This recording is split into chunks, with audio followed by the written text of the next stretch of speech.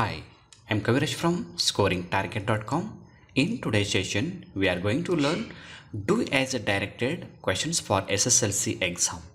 ಆತ್ಮೀಯ ವಿದ್ಯಾರ್ಥಿಗಳೇ ಇವತ್ತಿನ ತರಗತಿಯಲ್ಲಿ ನಾವು ಎಸ್ ಎಸ್ ಎಲ್ ಸಿ ಎಕ್ಸಾಮ್ಗಳಲ್ಲಿ ಕೇಳಬಹುದಾದ ಗ್ರಾಮರ್ಗೆ ಸಂಬಂಧಪಟ್ಟಂತೆ ಪ್ರಶ್ನೆಗಳನ್ನು ಡಿಸ್ಕಸ್ ಮಾಡೋಣ ಸ್ಪೆಷಲಾಗಿ ಡೂ ಆ್ಯಸ್ ಎ ಡೈರೆಕ್ಟೆಡ್ದಿಂದ ಬರ್ತಕ್ಕಂಥ ಪ್ರಶ್ನೆಗಳು ಮಲ್ಟಿಪಲ್ ಚಾಯ್ಸ್ ಕ್ವಶನ್ಸು ಮತ್ತು ಎಡಿಟಿಂಗ್ ಪ್ಯಾರಾಗ್ರಾಫ್ಗೆ ಸಂಬಂಧಪಟ್ಟಂತೆ ಪ್ರಶ್ನೆಗಳನ್ನು ನೋಡ್ಕೊಳ್ಳೋಣ ಈ ಒಂದು ನೋಟ್ಸ್ ಮತ್ತು ಅದರ ಕೀ ಆನ್ಸರನ್ನು ನೀವು ಡೌನ್ಲೋಡ್ ಮಾಡ್ಕೋಬೇಕಂದ್ರೆ ಅದರ ಲಿಂಕನ್ನು ಕಾಮೆಂಟ್ ಬಾಕ್ಸಲ್ಲಿ ಹಾಕಿರ್ತೀನಿ. ಸೊ ಅಲ್ಲಿ ಕ್ಲಿಕ್ ಮಾಡಿ ಡೌನ್ಲೋಡ್ ಮಾಡ್ಕೋಬೋದು. Okay let start the class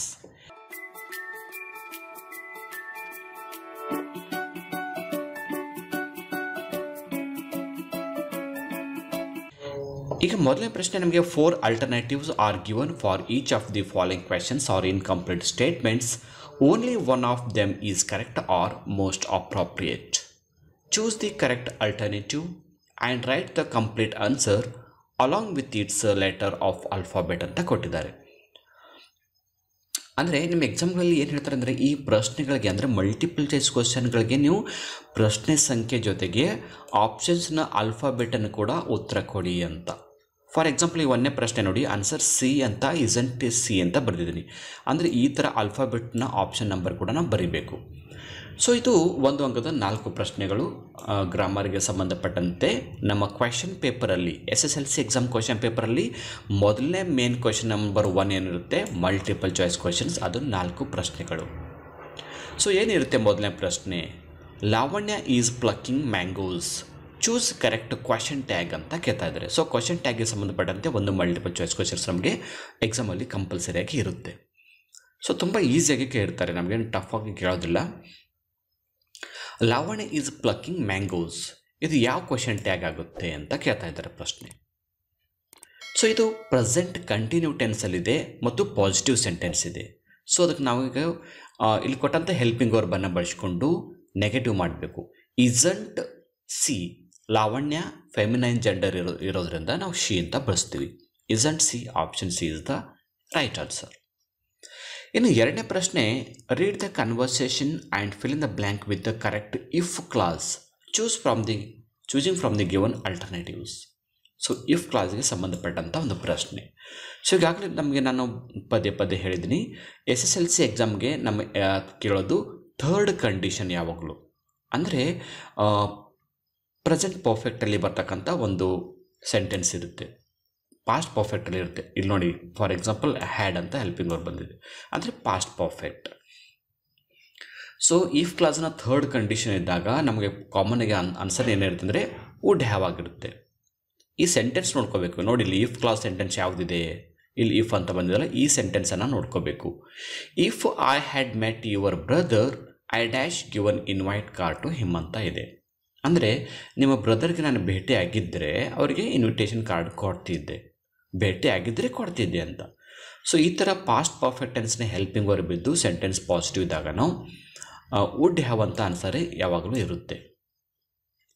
next ಮೂರನೇ ಪ್ರಶ್ನೆ read the conversation and choose the correct infinitive so ಇನ್ಫಿನಿಟಿಗೆ ಸಂಬಂಧ ಪ್ರಶ್ನೆ ಬಂದಾಗ ನಮ್ಮ ಮನಸ್ಸಿನಲ್ಲಿ ಏನು ಬರಬೇಕಂದ್ರೆ ಟೂ ಫಾರ್ಮ್ ಜೊತೆಗೆ ಒಂದು ವರ್ಬ್ ಇರಬೇಕು.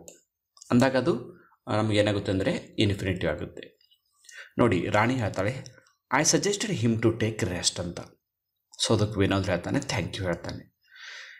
ಸೊ ಇಲ್ಲಿ ಇನ್ಫಿನಿಟಿ ಯಾವುದಾಗುತ್ತೆ? ಟೂ ಇರಬೇಕು, ಜೊತೆಗೆ ಏನಿರಬೇಕಂದ್ರೆ ಒಂದು ವರ್ಬ್ ಫಾರ್ಮ್ ಇರಬೇಕು. ಇಲ್ಲಿ ಆ ಥರದ ಆಪ್ಷನ್ಸ್ ಯಾವುದಿದೆ ನೋಡಬೇಕು. ಇಲ್ಲಿ ಆಪ್ಷನ್ ಎ ಅಲ್ಲಿ ಟೂ ಇದೆ, ಮತ್ತು ಜೊತೆಗೆ ಒಂದು ವರ್ಬ್ ಇದೆ. ಅಂದಾಗ ನಮ್ಗೆ option is the right answer ಇನ್ನು ನಾಲ್ಕನೇ ಪ್ರಶ್ನೆ read the conversation and choose the correct language function for the underlined sentence ಇದೇನು ಹೇಳ್ತಾ ಇದ್ದಾರೆ ಗೆರೆ ಎಳೆದ ಪದ ಅಂಡರ್ಲೈನ್ ಸೆಂಟೆನ್ಸ್ ಇರುತ್ತೆ, ಅದರಲ್ಲಿ ಲ್ಯಾಂಗ್ವೇಜ್ ಫಂಕ್ಷನ್ ಯಾವುದಾಗುತ್ತೆ? ಒಂದು ಸೆಂಟೆನ್ಸ್ಗೆ ಅಂಡರ್ಲೈನ್ ಮಾಡಿರ್ತಾರೆ ಅದರದ ಲ್ಯಾಂಗ್ವೇಜ್ ಫಂಕ್ಷನನ್ನು ಹೇಳಬೇಕು.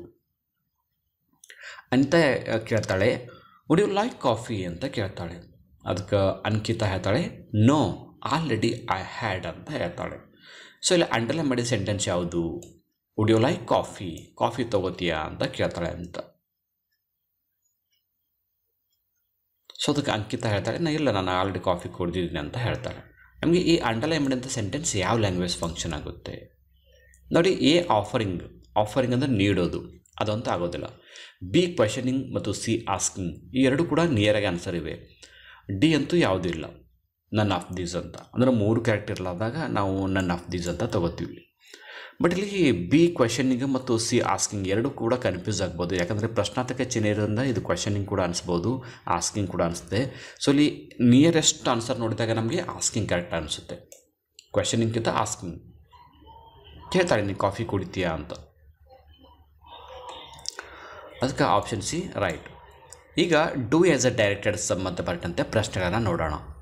ಇಲ್ಲಿ ನಮಗೆ ಒಂದು ಅಂಕದ ಹನ್ನೆರಡು ಪ್ರಶ್ನೆಗಳಿರುತ್ತೆ. ಎಲ್ಲವೂ ಕೂಡ ಒಂದು ಅಂಕದ ಪ್ರಶ್ನೆ. ಇಲ್ಲಿ ಯಾವುದೇ ಮಲ್ಟಿಪಲ್ ಚಾಯ್ಸ್ ಇರೋದಿಲ್ಲ. ನೇರವಾಗಿ ನಮ್ಮ ಮೊದಲ ನಾಲ್ಕು ಪ್ರಶ್ನೆಗಳು ಮಲ್ಟಿಪಲ್ ಚಾಯ್ಸ್ ಇದ್ದವು ಬಟ್ ಇದಕ್ಕೆ ಯಾವುದೇ ಮಲ್ಟಿಪಲ್ ಚಾಯ್ಸ್ ಇರೋದಿಲ್ಲ. ನೇರವಾದ ಪ್ರಶ್ನೆ, ನೇರವಾದ ಉತ್ತರ. ಸೊ ಐದನೇ ಪ್ರಶ್ನೆ fill in the blanks appropriated tense form of the verb given in the brackets ಅಂತ ಇದೆ. ಸೊ ಟೆನ್ಸ್ ಫಾರ್ಮ್ಸ್ ವರ್ಬಲ್ಲಿ ಇದ್ರ ಸಂಬಂಧಪಟ್ಟಂತೆ ಪ್ರಶ್ನೆಗಳಿರುತ್ತೆ.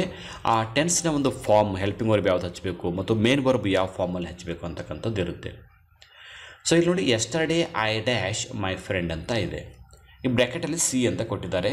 ವರ್ಬ್ ಒನ್ ಇದೆ. ಅಂದರೆ ಪ್ರೆಸೆಂಟ್ ಫಾರ್ಮಲ್ಲಿದೆ ವರ್ಬ್ ಬಟ್ ಎಸ್ಟರ್ಡೇ ಅಂದಾಗ ಇದು ಪಾಸ್ಟ್ ಟೆನ್ಸ್ ಸೊ ಅದಕ್ಕೆ ನಾವು ಸಿ ಬದಲಾಗಿ ಏನು ಬರಬೇಕು? ಸಾ ಅಂತ ಬರೀಬೇಕು.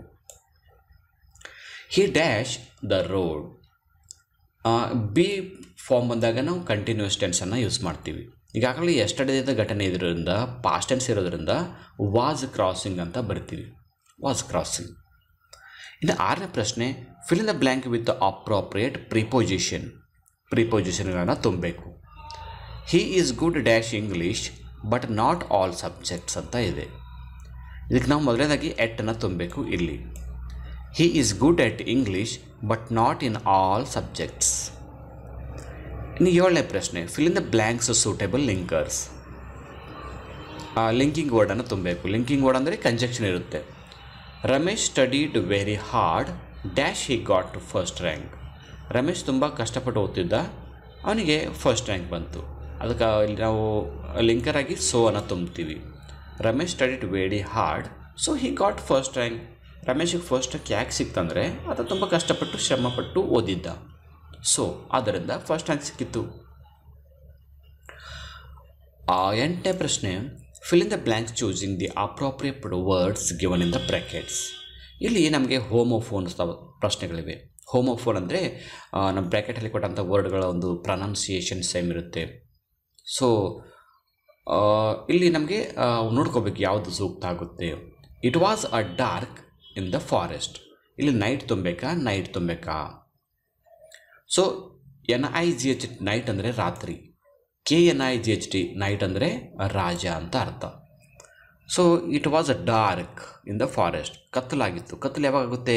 ನೈಟ್ ಆಗುತ್ತೆ. N I G H T so this is the right answer N I G H T I saw a dash a big snake ಆ ಕಾಡಿನಲ್ಲಿ ನಾನು ಒಂದು ಹಾವನ್ನು ನೋಡಿದೆ.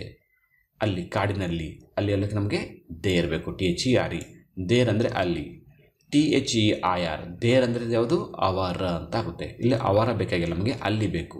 So there is the right answer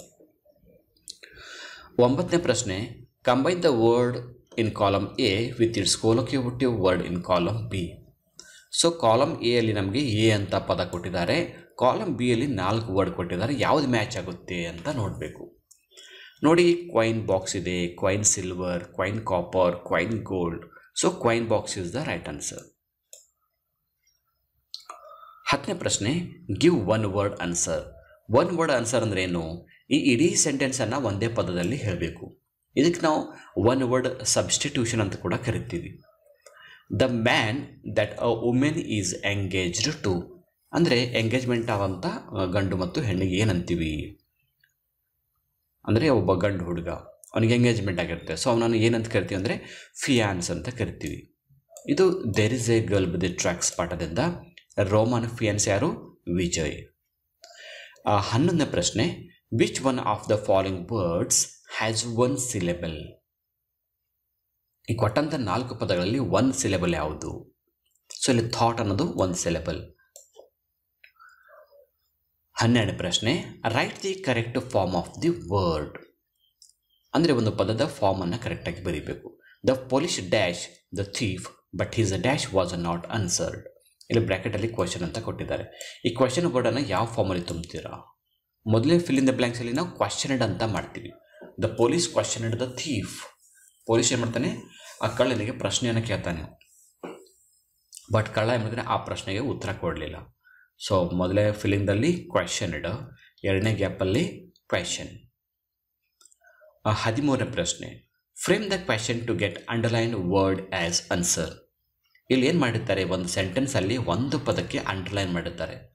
ಅದು ಉತ್ತರ ಬರುವ ಹಾಗೆ ಡಬ್ಲ್ಯೂ ಎಚ್ ಕ್ವಶನನ್ನು ಫ್ರೇಮ್ ಮಾಡಬೇಕು. ಕಾಮನ್ ಆಗಿ ನಾವು yes or no type question frame ಮಾಡ್ತಾರೆ ಕೆಲವರು. But yes or no type ಮಾಡಬಾರ್ದು ಡಬ್ಲ್ಯೂ ಎಚ್ ಮಾಡಬೇಕು. Prakash is living in Muddebihal Prakash ಮುದ್ದೆಬಿಹಾಳಲ್ಲಿ ವಾಸಿಸ್ತಾ ಇದ್ದಾನೆ. ಇಲ್ಲಿ ಮುದ್ದೆಬಿಹಾಳ ಉತ್ತರ ಬರುವ ಹಾಗೆ ಪ್ರಶ್ನೆ ರಚಿಸಬೇಕು. ಅಂದರೆ, ಪ್ರಕಾಶ್ ಎಲ್ಲಿ ವಾಸಿಸ್ತಾ ಇದ್ದಾನೆ ಅಂತ ಪ್ರಶ್ನೆ ಮಾಡಬೇಕು. ಆವಾಗ ಉತ್ತರ ಏನು ಬರುತ್ತೆ? ಮುದ್ದೆಬಿಹಾಳಲ್ಲಿ ವಾಸಿಸ್ತಾ ಇದ್ದಾನೆ. ಪ್ರಕಾಶ್ ಎಲ್ಲಿ ವಾಸಿಸ್ತಾ ಇದ್ದಾನೆ ಅಲ್ಲಕ್ಕೆ ನಮ್ಗೆ ಏನು ಬೇಕು? ವೇ ಎಲ್ಲಿ ಅಲ್ಲಕ್ಕೆ ವೇರ್ ಬೇಕು. ವೇರನ್ನು ಬಳಸ್ಕೋಬೇಕು ಡಬ್ಲ್ಯೂ ಎಚ್ ಕ್ವಶನ್ ಆಗಿ. ಇನ್ನು ಇಲ್ಲಿ ಕೊಟ್ಟಂಥ ಸೆಂಟೆನ್ಸ್ ಯಾವ ಟೆನ್ಸಲ್ಲಿ ಇರುತ್ತೆ? ನಾವು ಡಬ್ಲ್ಯೂ ಎಚ್ ಕ್ವಶನ್ ಕೂಡ ಅದೇ ಟೆನ್ಸಲ್ಲೇ ಮಾಡಬೇಕು. ಕೊಟ್ಟಂಥ ಸೆಂಟೆನ್ಸ್ ಪ್ರೆಸೆಂಟ್ ಕಂಟಿನ್ಯೂ ಟೆನ್ಸ್ ಇರೋದ್ರಿಂದ ನಾವು ಕೂಡ ಪ್ರೆಸೆಂಟ್ ಕಂಟಿನ್ಯೂ ಟೆನ್ಸಲ್ಲೇ ಮಾಡ್ತೀವಿ. ವೇರ್ ಈಸ್ ಪ್ರಕಾಶ್ ಲಿವಿಂಗ್ ಈ ಥರ ಮಾಡಿದ್ರೆ ಸಾಕು. ಇನ್ನು ಹದಿನಾಲ್ಕನೇ ಪ್ರಶ್ನೆ change in to passivise to this sentence ಇಲ್ಲಿ ಹಿ ರೈಟ್ಸ್ ಅ ಲೆಟರ್ ಅಂತ ಒಂದು ಸೆಂಟೆನ್ಸ್ ಕೊಟ್ಟಿದ್ದಾರೆ. ಅದನ್ನು ಪ್ಯಾಸಿವೈಸ್ ಮಾಡಬೇಕು. ಸೊ ಮೊದಲನೇದಾಗಿ ಈ ಸೆಂಟೆನ್ಸ್ ನಮಗೆ ಸಿಂಪಲ್ ಪ್ರೆಸೆಂಟ್ ಟೆನ್ಸಲ್ಲಿದೆ ಸೊ ಸಿಂಪಲ್ ಪ್ರೆಸೆಂಟ್ ಟೆನ್ಸ್ ಇದ್ದಾಗ ನಾವು ಪ್ರೆಸೆಂಟ್ ಕಂಟಿನ್ಯೂ ಟೆನ್ಸ್ನ ಹೆಲ್ಪಿಂಗ್ ವರ್ಬನ್ನು ತೆಗೆದುಕೊಂಡು ಪ್ಯಾಸಿವೈಸ್ ಮಾಡ್ತೀವಿ. ಈ ಸೆಂಟೆನ್ಸಲ್ಲಿ ಹಿ ಅನ್ನೋದು ಸಬ್ಜೆಕ್ಟ್, ರೈಟ್ಸ್ ಅನ್ನೋದು ಮೇನ್ ವರ್ಬ್ ಆ ಲೆಟರ್ ಅನ್ನೋದು ಆಬ್ಜೆಕ್ಟ್ ಸೊ ಮೊದಲೇ ನಾವು ಆ ಪ್ಯಾಸಿವೈಸನ್ನು ಮಾಡಬೇಕಂದ್ರೆ ಆಬ್ಜೆಕ್ಟನ್ನು ತೆಗೆದುಕೋಬೇಕು a letter a letter third person singular ಇರೋದ್ರಿಂದ ನಾವು ಈಸ್ ಅಂತ ಹೆಲ್ಪಿಂಗ್ ವರ್ಬ್ ತೊಗೋತೀವಿ. ಆಮೇಲೆ ರೈಟ್ಸ್ ಇದ್ದದ್ದು ಏನಾಗುತ್ತೆ? ರಿಟರ್ನ್ ಆಗುತ್ತೆ. ಪ್ಯಾಸಿವಸಲ್ಲಿ ಯಾವಾಗಲೂ ವರ್ಬ್ ವಿ ತ್ರೀ ಫಾರ್ಮಲ್ಲಿ ಅಂದರೆ ಪಾಸ್ಟ್ ಪಾರ್ಟಿಸಿಪಲ್ ಫಾರ್ಮಲ್ಲೇ ಬರೀಬೇಕು. ವರ್ಬ್ನ ವಿ ತ್ರೀ ಹಚ್ಚಿದ ನಂತರ ಬೈ ಅನ್ನು ಹಚ್ಚಿ ಹೀ ಇದ್ದದ್ದು ಏನಾಗುತ್ತೆ? Him a letter is written by him ಹದಿನೈದನೇ ಪ್ರಶ್ನೆ change in to comparative degree so ಈ ಕೊಟ್ಟಂಥ ಸೆಂಟೆನ್ಸ್ ಏನಿದೆ? She is as tall as me ಇದು ಪಾಸಿಟಿವ್ ಡಿಗ್ರಿಯಲ್ಲಿದೆ ಈಗ ನಮಗೆ ಕಂಪೇರಿಟಿವ್ ಡಿಗ್ರಿಯಲ್ಲಿ ಮಾಡಂತ ಇದ್ದಾರೆ. ಸೊ ಯಾವ ಥರ ಬರೀಬೇಕು? She is a taller than me tall ಇದ್ದದ್ದು ಏನಾಗ್ತು ಟಾಲರ್ ಅಂತ ಕಂಪೇರಿಟಿವ್ ಡಿಗ್ರಿಯಲ್ಲಿ ಆಯಿತು. ಕಂಪೇರಿಟಿವ್ ಡಿಗ್ರಿಯಲ್ಲಿ ಕಂಪಲ್ಸರಿಯಾಗಿ ನಮಗೆ ಧ್ಯಾನ್ ಅಂತಕ್ಕಂಥ ಒಂದು ವರ್ಡನ್ನು ಬಳಸ್ತೀವಿ. ಇನ್ನು ಹದಿನಾರನೇ ಪ್ರಶ್ನೆ book use this word as a verb in your own sentence so book ಅಂತಕ್ಕಂಥ ಪದ ಏನಿದೆ, ಇದನ್ನು ವರ್ಬ್ ಆಗಿ ನಿಮ್ಮ ವಾಕ್ಯಗಳಲ್ಲಿ ಬಳಸಬೇಕು. ಆ್ಯಸ್ ಎ ವರ್ಬ್ ಆಗಿ, ಕ್ರಿಯಾಪದವಾಗಿ. ಆನ್ಸರ್ ನೋಡಿ. She will book the train ticket tomorrow ಅವಳು ನಾಳೆ ಟ್ರೈನ್ ಟಿಕೆಟನ್ನು ಬುಕ್ ಮಾಡ್ಬೋದು. ಈ ಬುಕ್ ಅನ್ನೋದು ಏನೈತೆ ವರ್ಬ್ ಆಯಿತು. Main question third the following paragraph has two errors edit the paragraph and rewrite clues are given so ಇಲ್ಲೊಂದು ಪ್ಯಾರಾಗ್ರಾಫ್ ಕೊಟ್ಟಿರ್ತಾರೆ. ಎರಡು ಮಿಸ್ಟೇಕ್ಸ್ ಇರುತ್ತೆ. ಆ ಕ್ಲೂಸ್ ಕೂಡ ಕೊಟ್ಟಿರ್ತಾರೆ. ಸರಿಪಡಿಸ್ಬೇಕು. ಇವು ಒಂದೊಂದು ಅಂಕದ ಎರಡು ಪ್ರಶ್ನೆ ಇರುತ್ತೆ. In a few days Roma made a full recovery I can't imagine what would have happen if Baleshwar hadn't been there ಅಂತ ಇದೆ. ಇದೊಂದು ಪ್ಯಾರಾಗ್ರಾಫ್ ಏನು ನಮ್ಮ ಕ್ಲೂಸ್ ಕೊಟ್ಟಿದ್ದಾರೆ? A clue add the suitable article ಇಲ್ಲೆಲ್ಲೋ article mistake ಆಗಿದೆ ಅಂತ. So ನಾವು article ನೋಡಬೇಕು, ಈ ಸೆಂಟೆನ್ಸಲ್ಲಿ ಎಲ್ಲೆಲ್ಲ ಆರ್ಟಿಕಲ್ಸ್ ಇವೆ? ಸೊ ಇಲ್ಲಿ ನಾವು ನೋಡೋದು, ಒಂದು ಆರ್ಟಿಕಲ್ ಇಲ್ಲಿ, ಒಂದು ಆರ್ಟಿಕಲ್ ಇದೆ, ಇಲ್ಲೊಂದು ಆರ್ಟಿಕಲ್ ಇದೆ. ಸೊ ಇಲ್ಲಿ ಎರಡರಲ್ಲಿ ಎಲ್ಲಾದರೂ ತಪ್ಪಾಗಿರುತ್ತೆ. In an few days Roma made a full recovery ಇದು ಕರೆಕ್ಟಾಗಿದೆ ಇಲ್ಲೇನು ತೊಂದರೆ ಇಲ್ಲ. ಇನ್ ಅ ಫ್ಯೂ ಡೇಸ್ ಆಗಬೇಕು. ಆ್ಯನ್ ಆಗೋದಿಲ್ಲ. ಸೊ ಆನ್ಸರ್ ಎ ಆರ್ಟಿಕಲ್ ಅಂದರೆ ಇಲ್ಲಿ ಸರಿಪಡಿಸ್ಬೇಕು ನಾವು. ನೆಕ್ಸ್ಟ್ ಬಿ ಕ್ಲೀವ್ ಏನಿದೆ? Use the capital letter capital letter ಬಳಸಿ ಅಂತ. ಕಾಮನ್ ಆಗಿ ನಾವು ಕ್ಯಾಪಿಟಲ್ ಲೆಟರನ್ನು ಯಾವಾಗ ಬಳಸ್ತೀವಿ ಅಂದರೆ ನೌನ್ಗಳಿಗೆ ಬಳಸ್ತೀವಿ. ನೋಡಬೇಕಿಲ್ಲಿ ಅಲ್ಲಿ ಸ್ಮಾಲ್ ಆಗಿದೆ. Roma made a full recovery I can't imagine what would have happen Baleshwar Baleshwar ಇಲ್ಲಿದೆ ನೋಡಿ. ಬಾಲೇಶ್ವರ್ ನೌನ್ ಇದೆ. ಇಲ್ಲಿ ಬಿ ಸ್ಮಾಲ್ ಆಗಿದೆ.